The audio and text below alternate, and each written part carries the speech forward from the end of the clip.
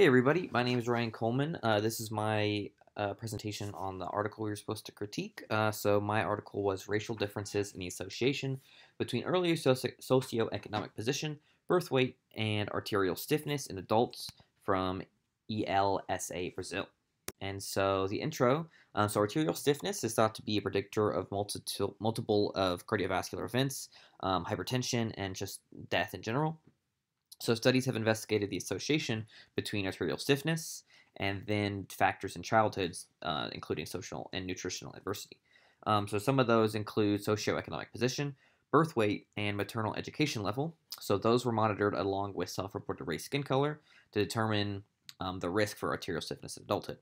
Um, so this study was made up of 13,365 subjects between ages 35 and 74 that were selected from the Brazilian longitudinal study of adult health um, from data between 2008 2010.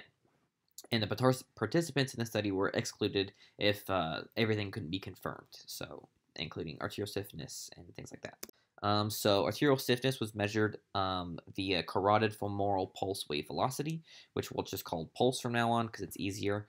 Um, maternal education, birth weight, uh, race, skin color were all assessed via survey. Um, and on that survey, um, they the education, birth weight, and race, skin color all had categories. I've listed over here. Um, so you have high school, complete elementary school, incomplete elementary school, and never attended school for education. Under 2.5, between 2.5 and 4, and over 4.5 kilograms for birth weight. And then um, black, brown, and white for skin color, and brown being just mixed. Um, the sex, age, participants' education, smoking, alcohol consumption, body weight, height, and other factors um, were all determined as adjustment variables, and they had uh, extra models that they were created to um, account for those, and we'll look at those in a minute. And since the relation between age and pulse was is not linear, subjects were divided into eight five-year groups between 35 and 34 age range. So this study had a, flu, a few collection flaws. Um, since it was all obtained voluntarily, from civil servants with stable jobs at universities' research institutes. There's a potential for lots of bias. Um, it had the potential for selection bias, um, but since this study wasn't meant to be representative of the general population, um, it doesn't. It kind of avoids that. Um, but it does have volunteer bias because um, since everybody in the study volunteered to have their data collected, um, that could lead to what potentially could be an underestimation of the results because people with worse arterial stiffness um, might not volunteer. So, so the analysis showed um, the analysis. The way they did it was by, by producing linear regression models, um, two of them comparing the maternal education and pulse, and then birth weight and pulse, and then subsequent adjustments were made uh, determining with all these variables. So model one was sex and age, model two was all of these things in three and four, and so they kept adding adjustments to try and um, make it a little bit more uh, correct.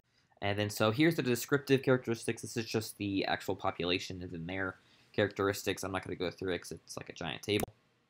This is the um, analysis showing the association between maternal education and then the pulse, and you can see a, a much higher um, rate of association in blacks as compared to the whites. Um, and then the same thing here, um, except this is between birth weight and uh, pulse. And you can kind of see a similar trend, except in the reverse, because birth weight and pulse was only associated with whites, and we'll talk about that in a second. Um, so like I was saying just a second ago, low, low birth weight was associated with the high pulse only in whites, which was interesting. Um, the study population showed that even though over half uh, had mothers with no education, over half the people surveyed actually had a university degree. So those aren't correlated at all. And blacks were the highest frequency of uh, having mothers with no education, or lower education, sorry. And then the median pulse was higher among blacks than browns and whites. And then age and sex adjusted pulse increased as maternal level of education decreased, with more pronounced differences in blacks. So basically, as level of education decreased, the rates of pulses increased. And then, so this study does not account for paternal education, so um, that could lead to misinterpretations of their socio- socioeconomic position in childhood, which could skew the data. And then participants could have incorrectly informed them of some of their data because the data was obtained retrospectively, which could lead to an, an underestimation. And then survival bias is also present since individuals with uh, severe arterial stiffness or severely low SEP are more prone to early deaths. Um, so that could lead to an underestimation. Um, so that's my end of my presentation. Thanks for watching.